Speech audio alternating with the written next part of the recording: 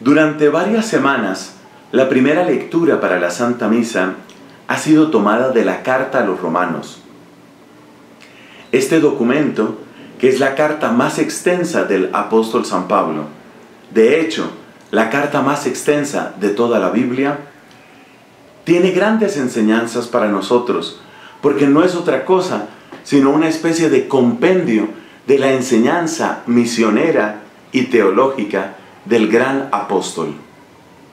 Vamos llegando al final de la lectura casi continua de la carta a los romanos y el texto de hoy en la primera lectura fue tomado del capítulo número 13. Les invito a que reflexionemos unos momentos sobre aquella frase que nos dice el apóstol. Amar es cumplir la ley entera. Yo escucho esa frase de San Pablo y me acuerdo inmediatamente de otro gran santo de nuestra Iglesia Católica, San Agustín de Hipona. Dice San Agustín, ama y haz lo que quieras. Esas expresiones grandiosas sobre el amor tienen bastante popularidad. Ama y haz lo que quieras, dice Agustín. Amar es cumplir la ley entera dice San Pablo. Pero cuidado, hay un peligro en estas simplificaciones. Cuando nosotros decimos, por ejemplo, amar es cumplir la ley entera, estamos diciendo que todo el bien que se encontraba en la ley pasa a ese mandamiento único, mandamiento que todo lo condensa, el mandamiento nuevo que nos ha dado Cristo el mandamiento del amor. Escucha la frase que he dicho, todo el bien que estaba en la ley de Moisés ha pasado al mandamiento nuevo, al mandamiento del amor. Esa afirmación se puede leer en dos direcciones. Quiere decir, por una parte, que aquel que vive realmente en el amor no está sujeto a ninguna condenación de la ley pero también significa que el amor puede ser evaluado, puede ser medido y cualificado a partir de lo que dice la ley. Y esta segunda parte es la que no suele tenerse en cuenta. Si de verdad el amor es la síntesis de la ley, aquella persona que me dice que ama, pues ha de notársele en la manera como vive todo aquello que pedía la ley.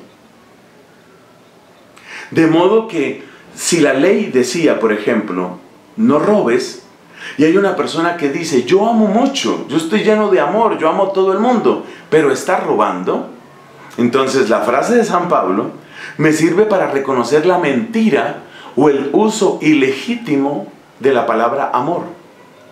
Porque es que la palabra amor no es una palabra mágica. En nuestra fe cristiana y en la realidad de las cosas no hay palabras mágicas. De modo que si tú dices que amas, ese amor tiene que ser verificable. La frase de San Pablo es una preciosa síntesis, pero también es un criterio de verificación preciosa síntesis que hace que nuestro corazón se eleve simplemente a buscar el don por excelencia, que es el don del amor de Dios. En eso estamos todos de acuerdo. Pero si es preciosa síntesis, también es criterio de verificación.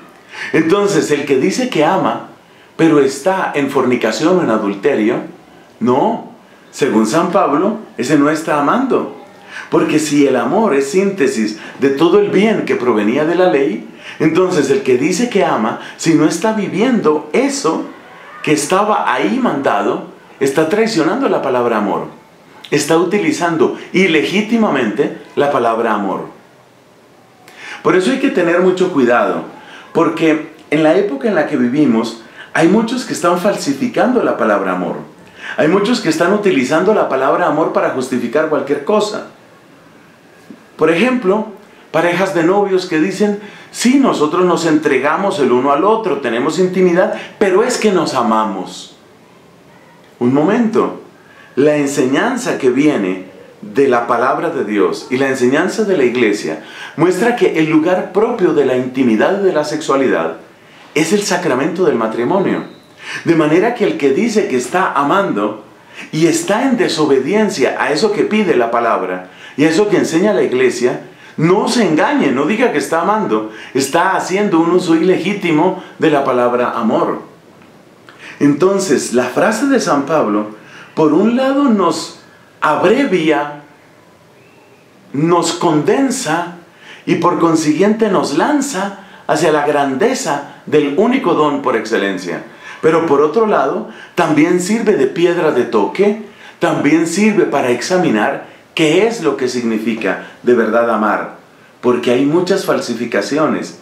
Y si bien es cierto que el amor salva, sana, transforma y santifica, las falsificaciones del amor lo único que hacen es envenenar, enturbiar y finalmente causar muerte. De ello nos libre Dios, que por su misericordia nos ha amado hasta el extremo.